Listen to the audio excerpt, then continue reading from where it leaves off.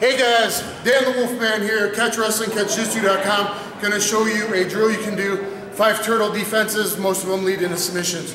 Okay? So we're gonna do a stand up, we're gonna do a sit out, we're gonna do a double wrist lock, we're gonna do a Granby roll into a figure four straight arm lock, and then we're gonna do a variation um, Granby roll into a head uh, neck crank.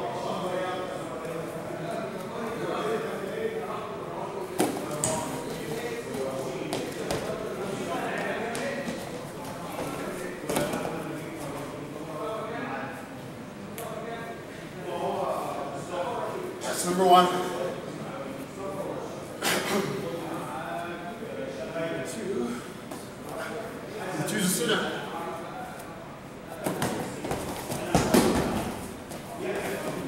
side control.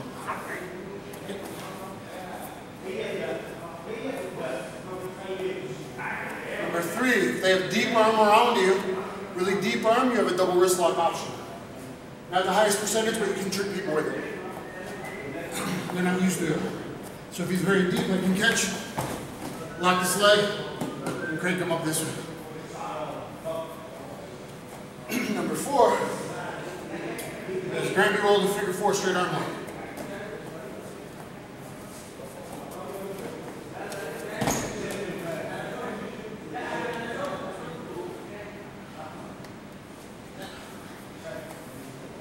Number five, deep or he's just resting short, and I need his arm around me.